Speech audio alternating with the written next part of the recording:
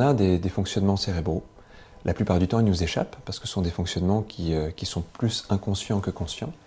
Et l'hypnose, c'est simplement un état qui nous permet d'y accéder. Donc tout ce qui d'habitude nous paraît hors de portée, euh, typiquement quand on a une compulsion, bah, c'est euh, au-delà de nous-mêmes, les gens disent c'est plus fort que moi. Bah, dans cet état-là, on va pouvoir travailler sur ce qui se passe dans l'inconscient. C'est pas 1, 2, 3, 4, 5 et tout le monde arrête de fumer. Mm.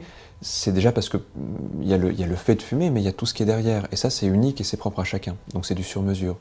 Il euh, y a des personnes qui euh, ont un certain lien à la cigarette, qui va être un lien d'identité presque. Donc c'est pas le même travail que si quelqu'un fume simplement parce que les autres fument autour. Donc on va essayer de savoir qu'est-ce qui se passe pour la personne, quel est l'enjeu, qu'est-ce qui fait qu'elle n'a pas déjà réussi à arrêter de fumer. On ne peut pas dire à l'avance parce que ça dépend de, de, tout ce qui est autour de la cigarette, de tous les enjeux qui sont autour. Quelquefois, une séance suffit. Maintenant, parfois aussi, les gens fument pour plein de raisons et des raisons qui ne sont pas connectées entre elles. Il faut quand même les prendre quelquefois une par une.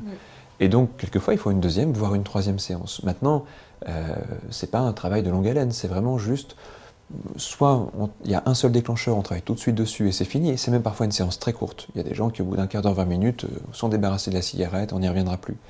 Et puis, il y a des personnes pour qui il faut démêler un peu, tout est noué à l'intérieur. Souvent, au début, ce qui est important, c'est de découvrir vraiment euh, l'état hypnotique.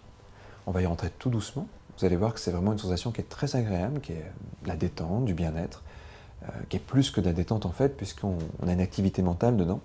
Mais dans cet état-là, on a vraiment l'impression que le temps s'espace, on a tout le temps du monde. Et un peu comme dans les rêves, il y a de la créativité, il y a des émotions qui passent, c'est assez dynamique comme état. Et en même temps, vous aurez vraiment l'impression que votre corps est posé là et vous, vous êtes en train de faire autre chose quelque part. Vous allez juste fermer les yeux Ce que je vous demandais au début, c'est vraiment de vous concentrer sur votre respiration, de bien l'observer sans l'influencer. N'essayez pas de l'accélérer ou de la ralentir, soyez juste vraiment concentré sur le rythme de la respiration. Il va se passer plein de choses à un niveau inconscient.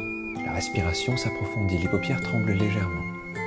Et vous allez pouvoir observer tout ça un peu comme si vous étiez à l'extérieur de vous-même. Étonnamment, votre tête va commencer à devenir un peu plus lourde. Cette lourdeur va commencer à créer d'autres sensations et d'autres perceptions.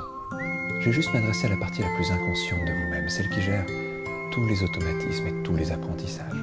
Une partie de vous se rappelle de cette première cigarette que vous avez prise un jour, qui était vraiment pas très agréable, mais il y avait d'autres raisons pour en avoir pris une deuxième. Pour l'instant, c'est quelque chose qui faisait encore partie de votre vie, mais tout doucement, au fur et à mesure de cette séance, vous aurez la sensation de quelque chose de plus lointain, jusqu'à quelque chose de complètement déconnecté de vous-même. Vous pouvez recommencer à bouger un peu les mains, les doigts, le visage. Bonjour. Bonjour. J'ai un peu versé ma petite larme. oui, j'ai vu ça. Oh, comment est-ce que vous vous sentez? Un peu groggy.